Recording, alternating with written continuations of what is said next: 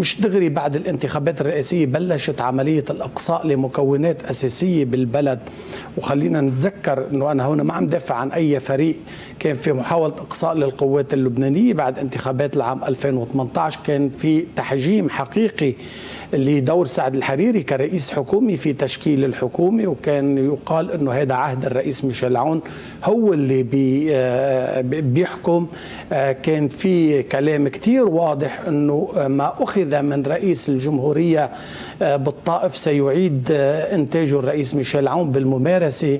الوزير سليم جريصات اللي بنحترمه اللي كان هلأ عم يشارك بالمداخلة هو كان سبب أساسي بما وصل إليه عهد الرئيس ميشيل عون من خلال الاستشارات القانونية والدستورية اللي كان يطلعها.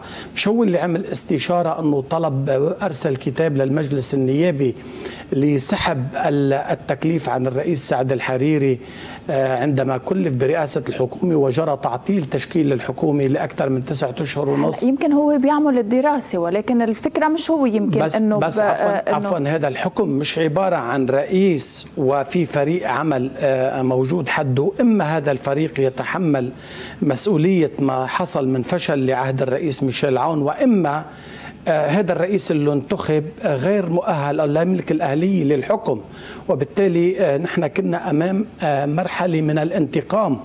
وليس مرحلة من الحكم للبلد.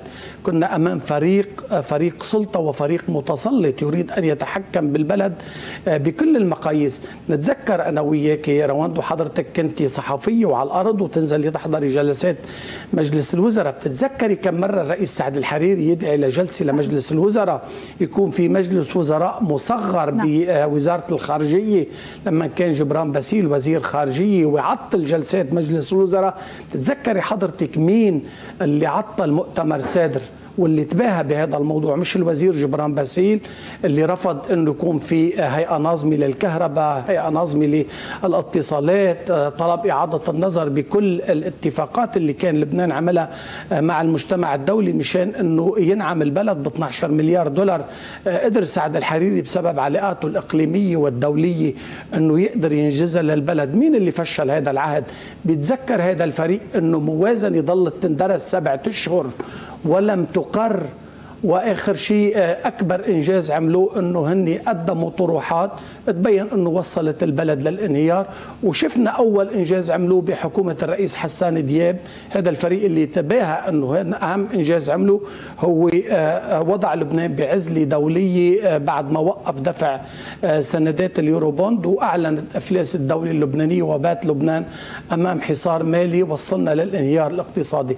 أنا متأسف كمان أيضا بيتذكروا إنه كيف تعاملوا مع رئيس حكومة بيبعتوا له عبر الدراج إلى النائب سعد الحريري الخطاب إلى النائب سعد الحريري. هيدا خطاب سلطة وشراكة بيريدوا إنه هل هيدا أنت بتصدقي؟ أنا مع احترامي له بتصدقي إنه هذا الفريق ممكن يرجع تعملي معه شراكة بالبلد؟ أنا أستبعد.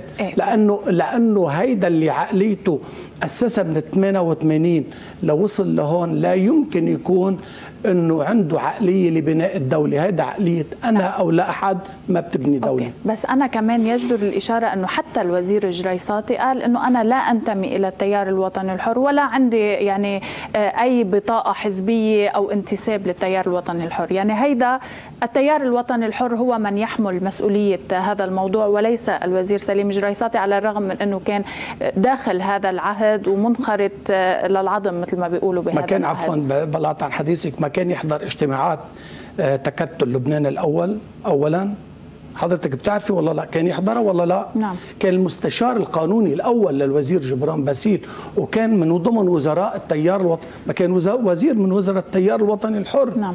ومن وزراء رئيس الجمهورية. أستاذ يوسف هل التيار الوطني الحر لوحده بيتحمل نتيجة لا أنا مع المسؤولية أنا المسؤولية الكبرى يتحملها مش لوحده مم. مش لوحده. طبعا لو لم يكن هناك مثل ما تفضلت وقلت له بالسؤال لو لم يكن هناك القوة القاهرة اللي بيمثلها حزب الله واللي غطت جبران باسيل والرئيس ميشيل عون بكل هذه المحطات ما قدر كان ينجح بتعطيل حكومي لو كان هذا الفريق تيار الوطني الحر وحلفائه وحزب الله وحلفائهم لو كان عندهم إرادة حقيقية لبناء دولة صدقيني كان بيقدروا يعملوا شيء.